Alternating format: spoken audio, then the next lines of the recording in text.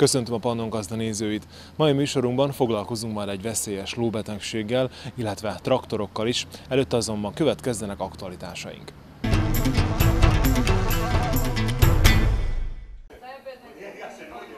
Behozatali illetéket vezetett be a szerb kormány a tejre és a tejtermékekre, annak érdekében, hogy megvédje a hazai termelést. Az év végéig 15-től 20 dinárral terheli majd literenként, illetve kilónként az élelmiszeripari mezőgazdasági importárukat. A stabilizációs és társulási megállapodás alkalmazásával az utóbbi néhány hónapban 6%-ot ugrott a tej, tejföl, jogurt és más hasonló termékek behozatal az országba. Április 1 ugyanis jelentősen megnőtt az európai termelők kivitele a világ minden részébe. Szerbiában naponta mintegy 200 ezer litert szállítanak.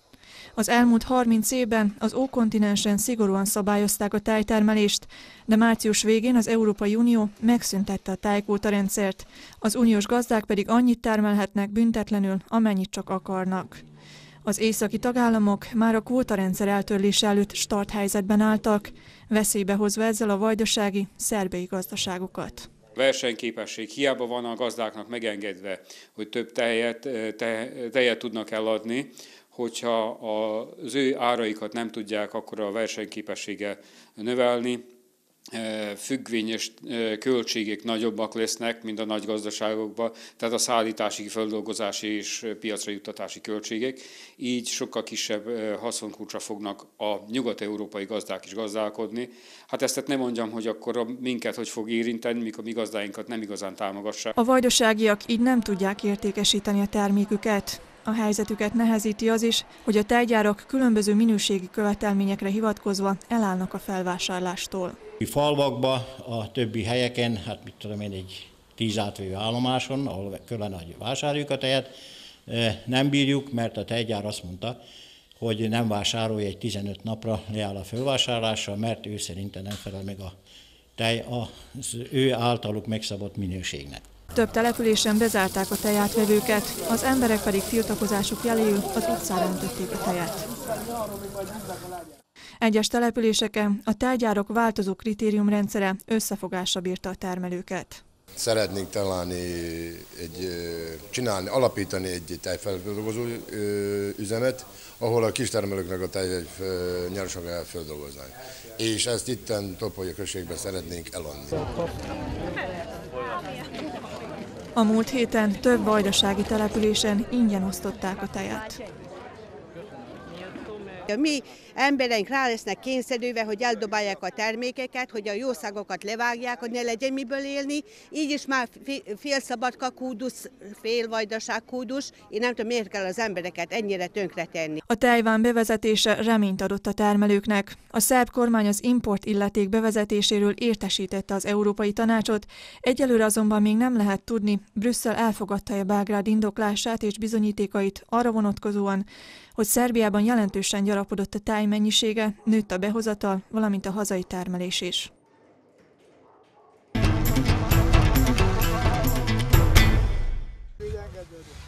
A kispiaci Nagy Vilmos már egy évtizede a Kishomok melletti rakétaállomás lövésze.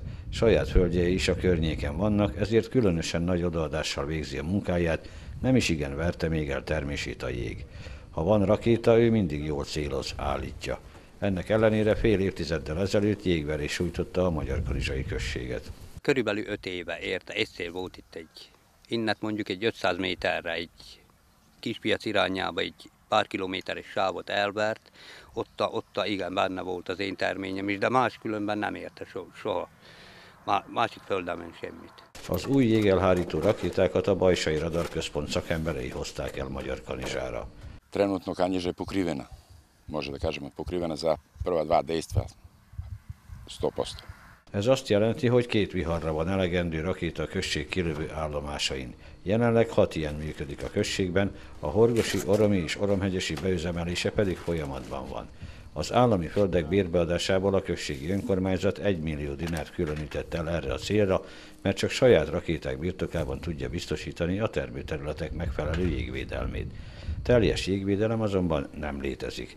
Én arra buzdítanám a termelőket, hogy biztosítsanak, az önkormányzat is támogatja a mezőgazdasági biztosításokat, főleg horgos területén, kispiac, ahol évről évre szinte vannak jégkárok, kisebb-nagyobb mértékben. Utána ilyen őrült nagy pénzeszközöket az önkormányzat nem tud kártérítésképpen kifizetni. A községi tanács illetékese elmondta még, hogy a Magyar Kanizsai Önkormányzat földgenerátorok beszerzését is előlátta, amelyek előnyösebbek a határmenti gyümölcsösök jégvédelmére. Sajnos ezeket Szerbiában nem gyártják, a behozatalhoz és használatukhoz viszont nem kaptak engedélyt, így ettől az elképzeléstől az önkormányzat egyenlőre elesett.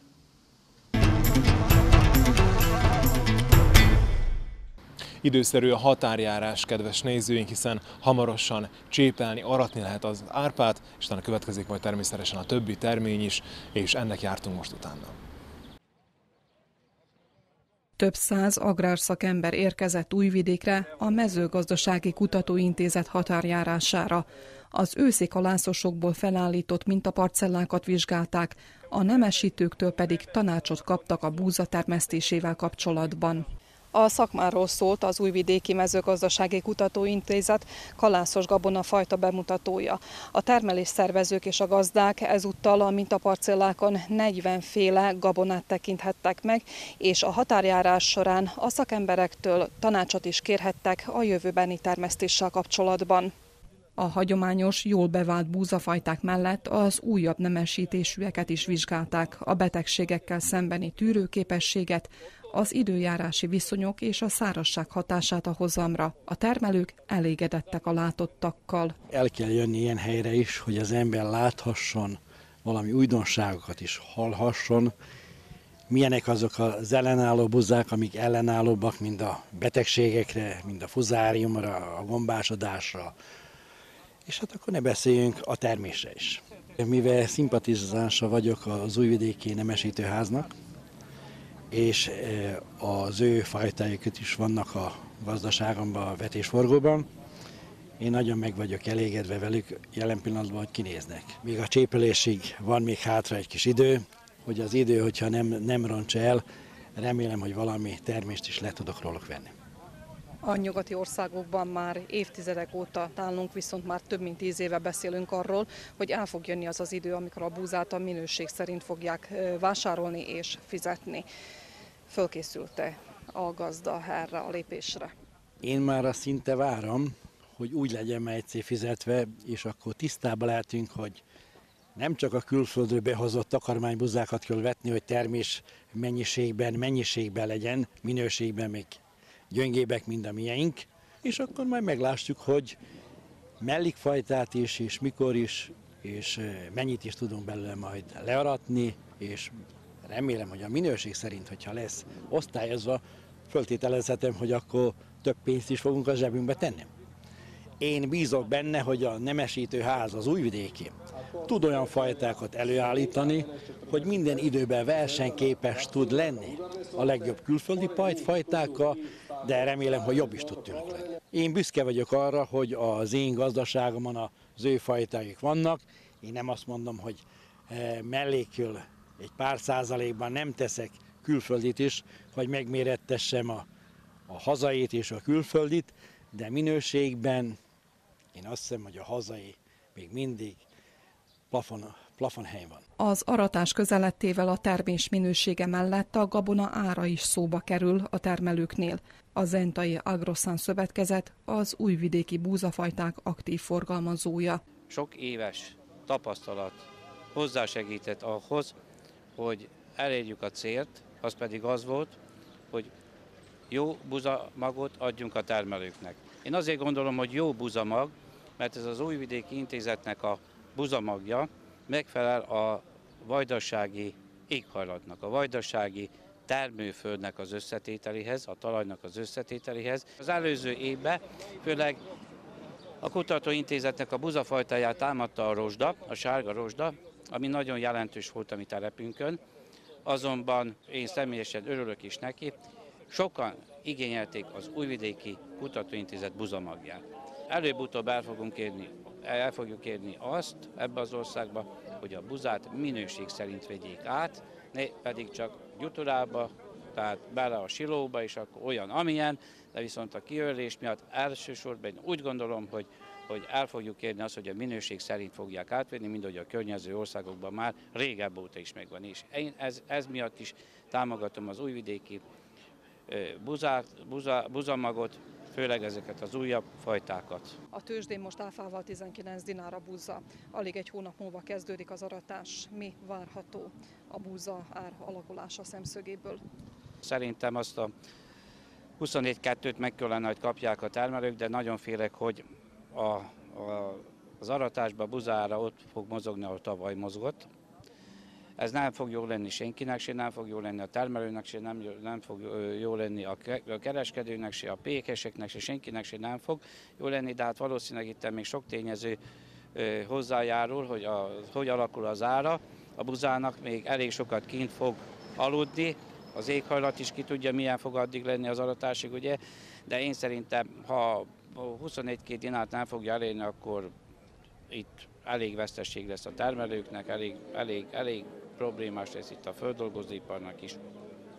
De hát a buza egy olyan, olyan kultúra, amit az ember azért vet, az előveteménynek az nagyon jó a buza.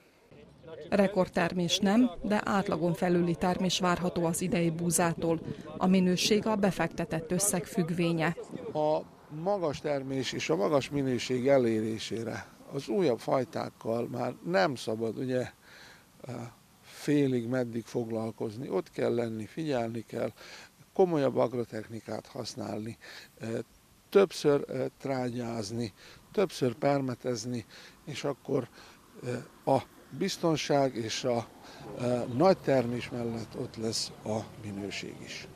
Egyébként az Újvidéki Intézet nemesítése milyen irányvonalat tűzött ki maga elé, mi felé halad a nemesítés? Hát ö, okulva ugye az előző évek tapasztalataiból e, nagyobb odafigyeléssel szerintem a tolerancia, ugye elsősorban az éghajlati változások iránti tolerancia, amennyire ezt ugye el lehet érni, másodszorban a betegségek ugye iránti tolerancia, harmadsorban a minőség megőrzése, ugye ezek eléggé összekötött tulajdonságok, és ha az egyik többet ki van hangsúlyozva, az a másik tulajdonság kárára mehet. Szóval egy kiegyensúlyozott, jó minőségű, magas bőtermő buza fajta, amely ugye nem csak a vajdasági terepre megfelel, hanem ugye próbálkozunk külföldön is, Magyarországon igen, Szép eredmények értek el az újvidéki NS Pannonia és az NS 40-es buzafajtáink. Nem csak a hazai piac érdekel minket, továbbra próbálkozunk a külföldi piacon is bizonyítani. Több évi kísérletezés szükséges ahhoz, hogy a nagy parcellákon is bizonyítsanak a határjáráson bemutatott új fajták. Prethodne dve godine stvoreno je ukupno 23 sorte ozimih strnih žita, a od toga 13 sorti ozime pšenice, što ukazuje da mi pre svega akcenat na naš naučno-istraživački rad dajemo na nove sorte pšenice, ali takođe i na druge koje su zastupljene u našem sortimentu i na poljima naših proizvođača. A határjáráson elmondták, az árpa aratása 15 napon belül megkezdődik, míg a búzái Péter Pálkor esedékes.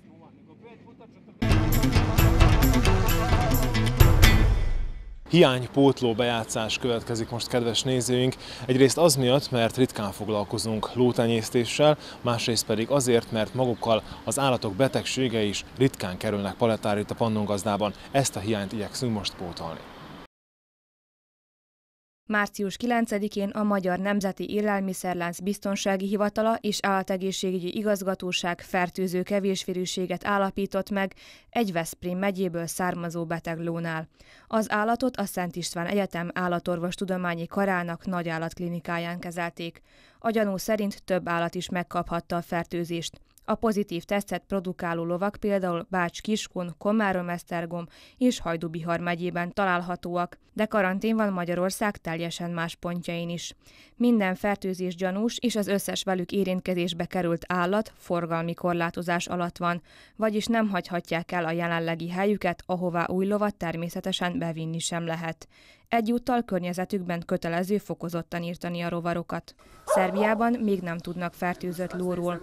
A kor vérszívó rovarok által terjed leginkább.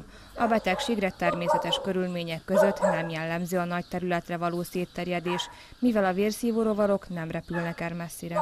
Napokban jutott nekünk is tudomásunkra, hogy ez a betegség Magyarországon már gyakorlatilag több mint két hónapja jelen van. Amit tudok az, hogy egy olyan, olyan betegség, amelynek minden, azok az érdeket, amelyek elkapják, azokat le kell ölni. Szerencsére úgy tudjuk, hogy még Szerbiában nincs erre precedens. Amit tudunk az, hogy Romániából kerül át, került át Magyarországra ez a betegség. A, ami, ami jó Szerbia számára az, hogy mivel nem vagyunk Európai Uniós tagok, nagyon nehéz lovat határon ki határon bemozgatni, ezért várható, és reménykedünk abban, hogy nem is fog Szerbiában megjelenni ez a betegség. A kevés vérűség miatt a lovak lesoványodnak, vérszegények lesznek, és a betegség végén elhullanak. A fertőzés más állatokra és az emberre nem jelent veszélyt. A betegségre természetes körülmények között nem jellemző a nagy területre való terjedés, mivel ezek a vérszívó rovarok nem repülnek el messzire, és az életük sem olyan hosszú, hogy messzire tudnának igazából eljutni. A, a legnagyobb veszélyt az ellenőrizetlen szállítások és a nyilvános rendezvények jelentik, ahol sok ló ö, ö, koncentrálódik egy kis területen, és esetleg van beteg közöttük. Ez a betegség felhívta a figyelmet arra, hogy ez a betegség azért, tehát Magyarország is mentes országnak minősül, ami nem azt jelenti, hogy időről időre ne lennének beteg, beteg állatok. De szerencsére ez eddig ellenőrzés alatt volt, és ezentúl is így fog lenni. A lótartók figyelmét kellene felhívni, hogy törvényileg is kötelesek itt Szerbiában évente a lovaiktól egy vérvizsgálatot elkészítetni, hogy mentesek-e ettől a betegségtől. Ha pedig eladásra kerül a ló, vagy pedig nyilvános rendezvényekre viszik, teszem azt a vásár, vagy mint a Nemzeti Vágta, vagy más lovas rendezvények, akkor is előtte vizsgálatot célszerű elvégezni. Hát állományon belül olyan esetben, hogyha ez a beteg ló nincs idejében diagnosztizálva, hogy beteg, és ott marad a többi között, akkor el tudja terjeszteni az állományban a betegséget akár hetek alatt. A kór akár napok alatt felemészheti az állatot, hónapokig is eltartott a betegség lefolyása. Amennyiben megállapítják egy lónál a kevésvérűséget, karanténba kell helyezni, majd a törvényel összhangban kényszervágásra kell vinni.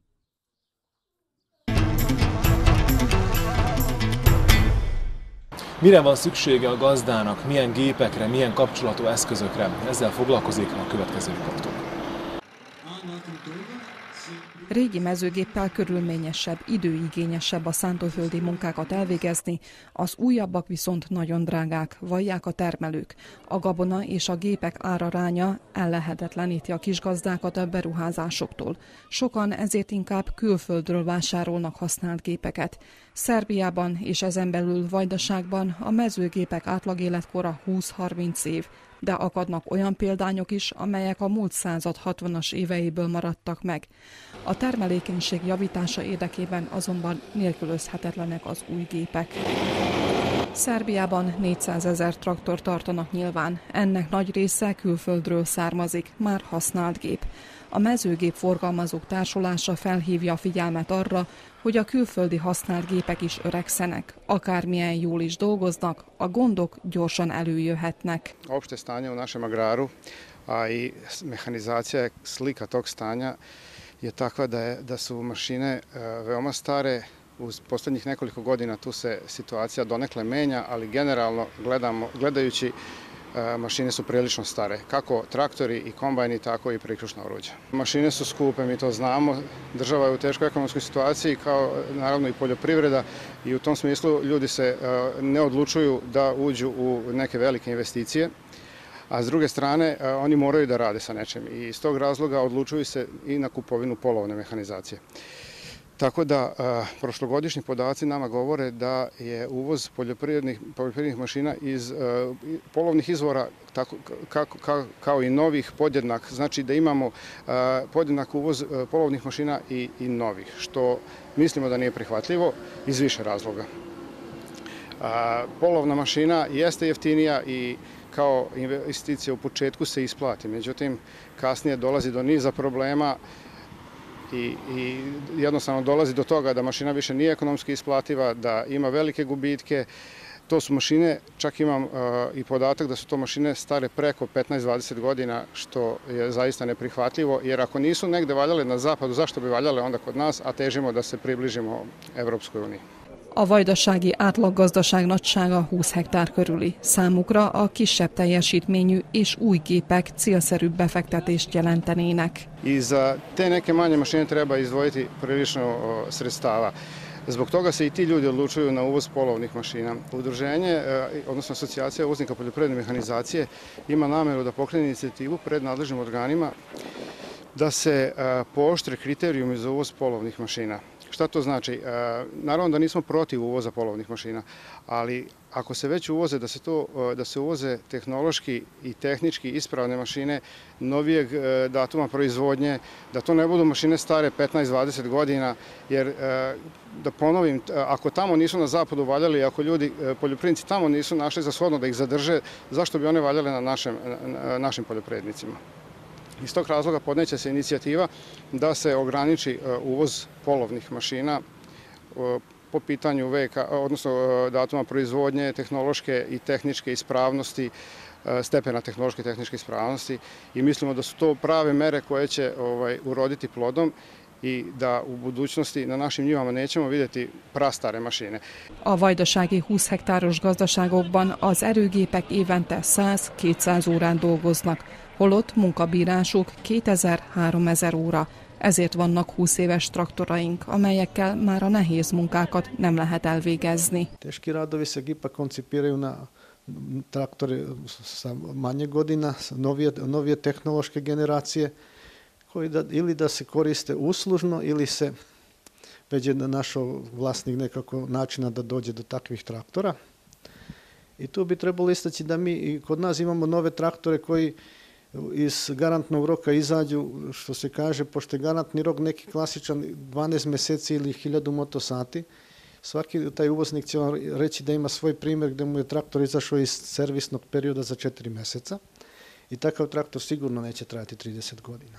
Da li ćemo kupovati nove mašine ili ne, da, što se tiče priključnih mašina, ako ostajemo pri istoj tehnologiji, ako imamo adekvatan traktor za tu mašinu, svrsishodnije remontovati mašinu, pogotovo ako je ram zadržao osnovne geometrijske parametre, ako nije ram pomeren, polomljen, lako se sad nađu na tržištu adekvatni radni organi na priključnu mašinu, da li je to kultivator ili je tanjirača ili drljača, tako da savjetujemo naše proizvodnjače, još ako su u stisci malo sa novcem dok su ove niske cene poljoprivrednih proizvoda da se odluče za remontovanje mašina. Új gépek vásárlására léteznek minisztériumi, de tartományi támogatások, alacsony kamatlábú hitelek. A mezőgazdasági fejlesztési alapnál egy-egy körben 80-90 traktort és kapcsolható eszközt sikerül kiosztani, ám ez kevés ahhoz, hogy a hazai mezőgépek átlagéletkora jelentősen javuljon.